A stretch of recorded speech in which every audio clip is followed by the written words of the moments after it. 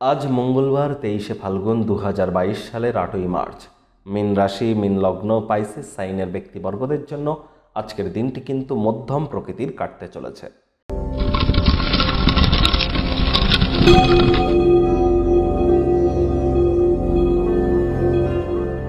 ভাগ্য মিটার আজ আপনাদের বলছে six point five out of ten ভাগ্য আপনাদের অনুকূলেই থাকবে। আজ স্বাস্থ্য, অর্থ এই দুই ব্যাপারে আপনাদেরকে একটু সাবধানতা অবলম্বন করে চলতে হবে। বাদবাকি সমস্ত ক্ষেত্রেই কিন্তু ভাগ্যদেবী আপনাদেরকে এক প্রকার সহযোগিতাই করতে চলেছেন। বিশেষ করে যারা চাকরিজীবী আছেন, আজ অফিসে দীর্ঘ প্রতীক্ষিত নামযশ খ্যাতি আপনাদের মিলতে পারে। অফিসে কম কথা বলে কাজ বেশি করুন, দেখবেন পদোন্নতি বা প্রমোশনের যোগ্য আপনাদের পরিলক্ষিত হতে পারে।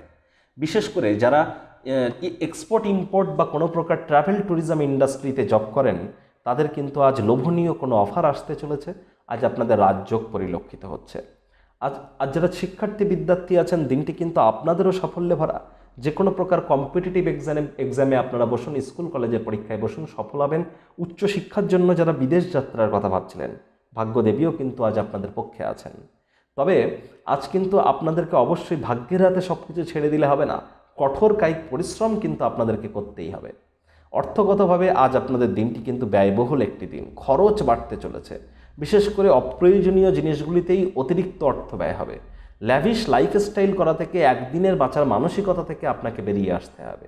টাকা পয়সা যদি জমাতে চান, সঞ্চয় করতে চান, পিতা, মাতা, পিতৃতুল্য, মাতৃতুল্য কোনো ব্যক্তি বা বয়োজ্যেষ্ঠদের কাছ থেকে পরামর্শ গ্রহণ করুন আর সেগুলিকে নিজের ডেলি রুটিনের মধ্যে ইনপুট করুন। প্রভূত পরিমাণে লাভবান আপনারা হবেন। স্বাস্থ্যগতভাবে আজকের দিনটি কিন্তু একদমই আপনাদের পক্ষে নেই।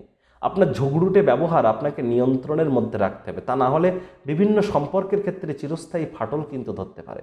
নেতিবাচক অনুভূতি এগুলি আপনাকে ত্যাগ করতে হবে, তা না হলে হতাশা আপনাদের গ্রাস করতে পারে। স্বাস্থ্যগতভাবেও কিন্তু দিনটি আজ, দিনটিতে আজ আপনাদের স্বাস্থ্য ভঙ্গের চোখ পরিলক্ষিত হচ্ছে। ওজন বুঝে ভোজন গ্রহণ করুন।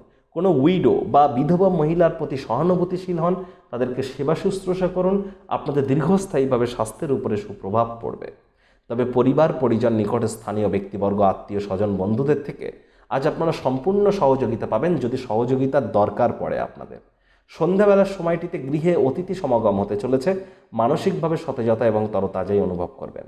প্রেমিক, প্রেমিকা, স্বামী, স্ত্রী, উভয়ের ক্ষেত্রেই বলব, আজকের দিনটি না ভাব, ভালোবাসা, রোম্যান্স, না তর্ক, বিতর্ক, অশান্তি কোনোটাতেই বাড়াবাড়ি যেন করবেন না। অন্যান্য দিনের ন্যায় আজকের দিনটিকে সাধারণ হিসেবে ট্রিট করবার চেষ্টা করুন।